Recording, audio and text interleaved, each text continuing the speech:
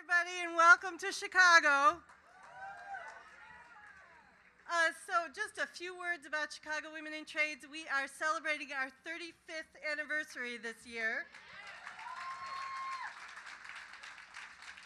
And uh, we run a pre-apprenticeship program. We want to run a welding program, provide technical assistance to unions and apprenticeship programs, other stakeholders, and advocate for policies and practices that support women's careers.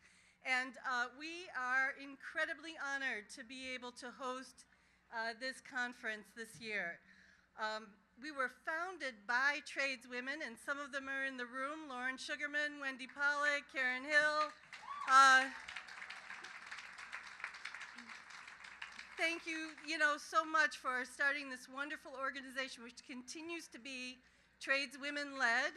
And uh, there are so, so many people to thank as a result of this conference, but I absolutely have to thank our incredibly tireless, incredibly talented, uh, everywhere uh, board chair, Sarah Stigler, the best board chair in the whole world.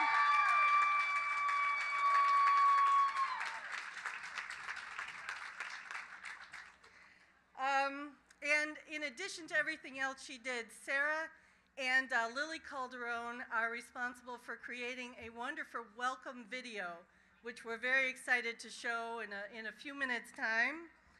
And, uh, but before that, let me, uh, let me just thank our dedicated board, our staff, all the dozens of tradeswomen who did everything that they did after work. Uh, it was an amazing experience for us.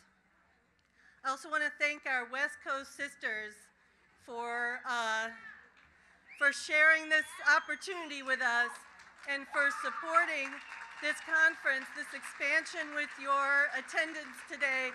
We appreciate you very much uh, and, and thank you for that.